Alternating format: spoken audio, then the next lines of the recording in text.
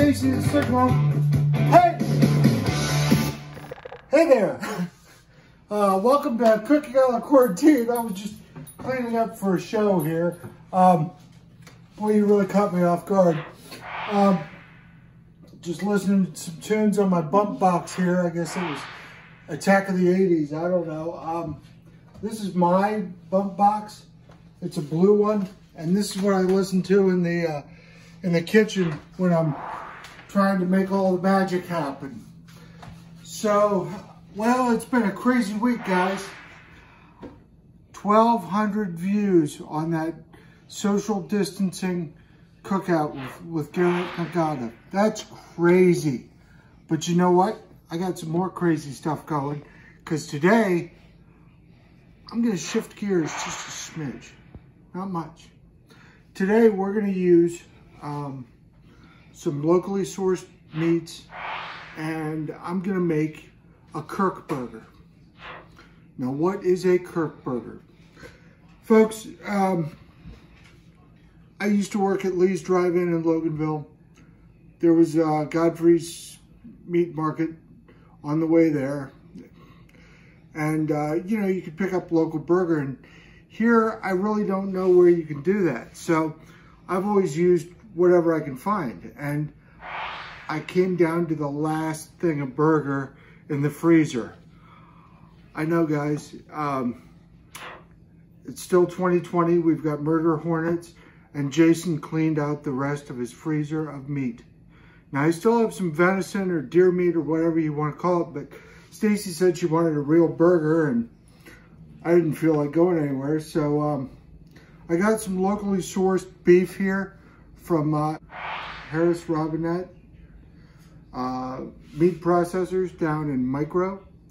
Uh, these people actually live in the district where my wife works. They live in, in Edgecombe County and this is locally sourced meat and I haven't had locally sourced meat in a while. So I was kind of excited. Uh, we're gonna take a little bit of a trip here and I'm gonna twist it. So now that I'm fully out of meat and um, you know, the I don't know about you guys, but I'm getting as much stuff as I can from the house with my containers. So I, I got some locally sourced um, fruits and vegetables. But today we're going to focus here on this burger.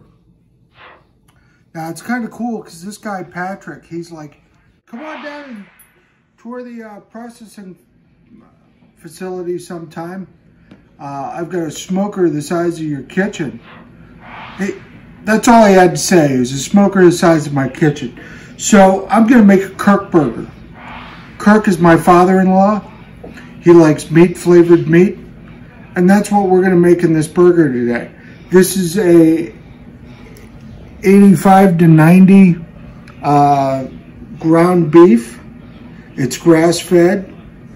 And I had a steak, folks. This is some good stuff. And I'm not just saying that to say it. So um, what we're going to do, and I got this recipe from um, my buddy Joe Nolte, who just got one of those fancy schmancy grills. Um, if anybody wants to give me a fancy schmancy grill, I'll be more than happy to take it. So, it's a little big. Here, we'll, go like this. All right, so what he said was meat and, and seasonings. And I said, well, what kind of seasonings, Joe? He said, well, I like, um, you know, that uh, Montreal steak stuff. And I'm like, eh, how about we just do salt and pepper? That's exactly what my father-in-law would do. So we'll be right back because I'm going to wash my hands and we're going to put some salt and pepper on this stuff.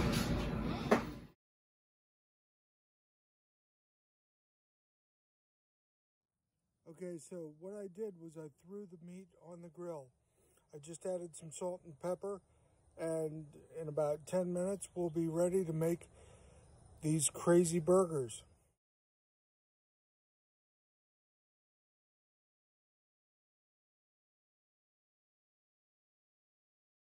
I did something crazy the other day.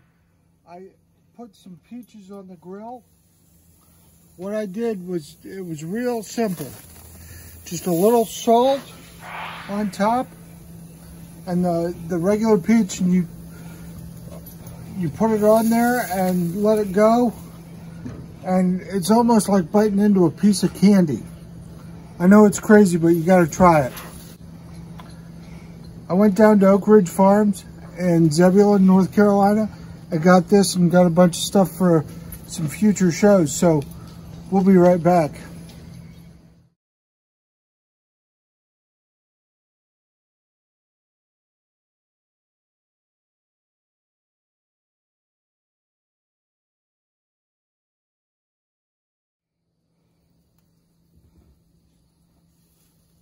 Man, it it's so hot out here. It's like 98 degrees and I'm sweating. But uh, I was in the bottle shop and I saw this can. I thought that was kind of neat. I mean, look how colorful that is. It's called an epiphanator. I wonder how many of these do I need to drink to have an epiphany. I don't know, but you know, it's local or it's pretty good stuff. So let me cook this up and we'll be right back.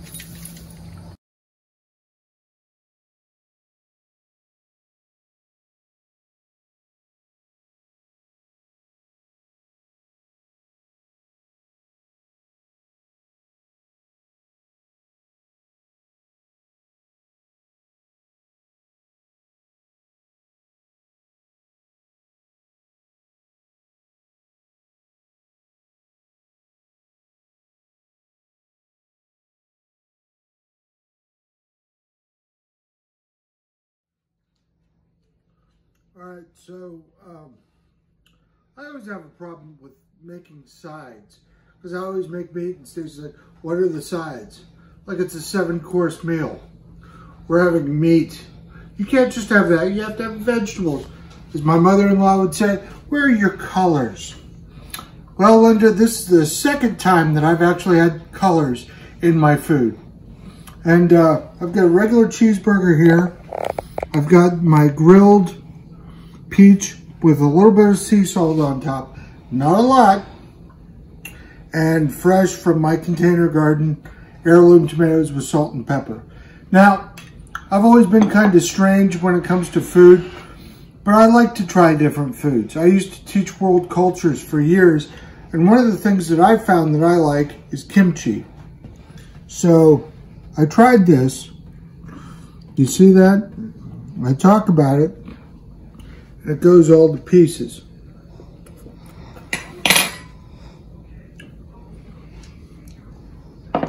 Kimchi is kind of like Korean sauerkraut, but it tastes different. Um, my friend Jason Snyder had a kimchi covered burger.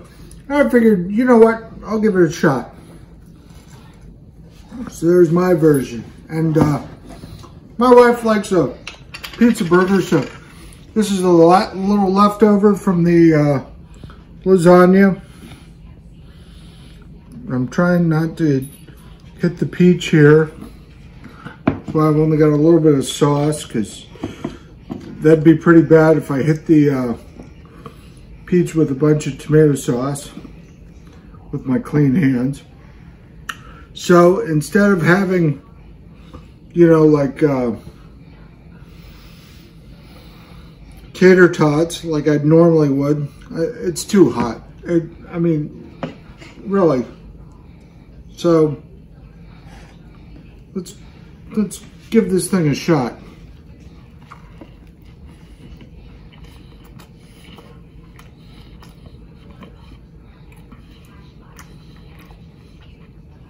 That's good. Kirk, you'd love it. It's meat flavored meat kimchi makes it good. The sharp cheddar cheese. Um, let me try one of my $500 tomatoes here because there's no telling how much money we put into these tomatoes.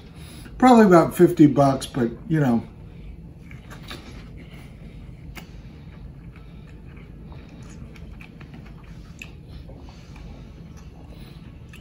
Damn, that's good.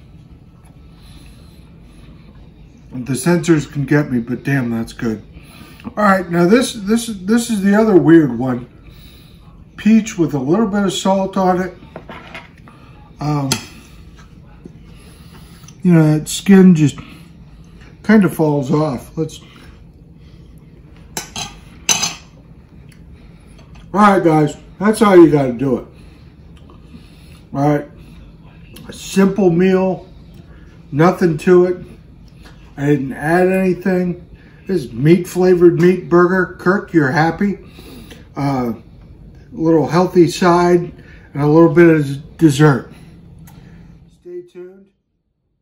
I'm going to be raffling off a bump box similar to that one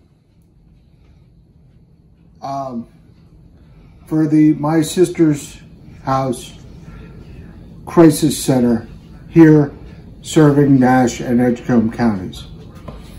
It'll be $5 a chance. I will take Venmo, PayPal, and Cash App. And for those of you snails that still use checks and cash, I will print out 100 tickets and they will be available locally here in Nash County. Stay tuned. Be kind, be excellent to one another. Have a great day and I'll be back soon. Talk to you soon.